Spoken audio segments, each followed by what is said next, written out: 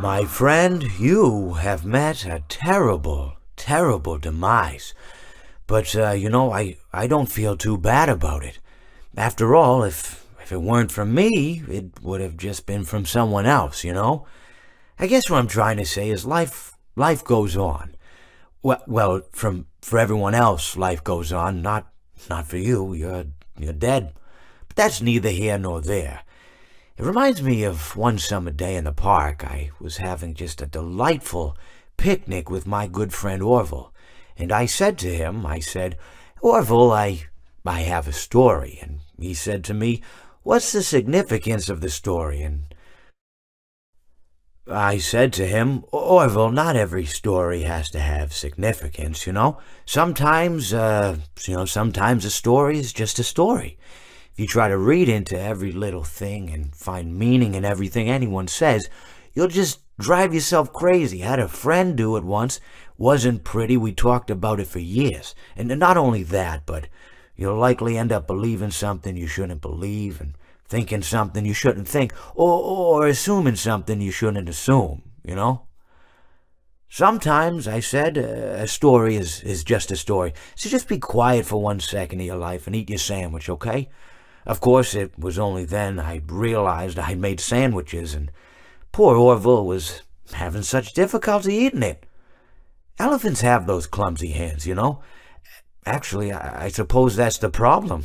They don't have hands at all, do they? They're they're all feet. I, I couldn't imagine someone asking me to eat a sandwich with my feet.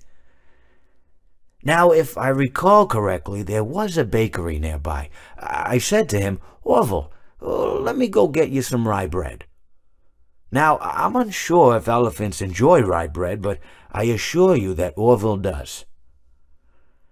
Now, this was on a Tuesday, which was good because rye bread was always fresh on Tuesday. They made sourdough bread on Monday and threw it out Wednesday, or rather, they sold it at a discount for people wanting to feed the ducks, and then probably at the end of the day, finally, they threw it all out. I, I don't recall. I do remember a man who would bring his son to the bakery every Wednesday and then go feed the ducks. He would buy all of the sourdough bread. Of course, you know, you're not supposed to feed the ducks sourdough bread at all. It swells up in their stomach and then they all die. It, uh, at least, at least that's what I've heard. You know, I, I never saw any ducks die myself, but I did notice a substantial decrease in the duck population over the course of a few years. I just never thought to stop the man and tell him that he was killing the ducks by feeding them sourdough bread.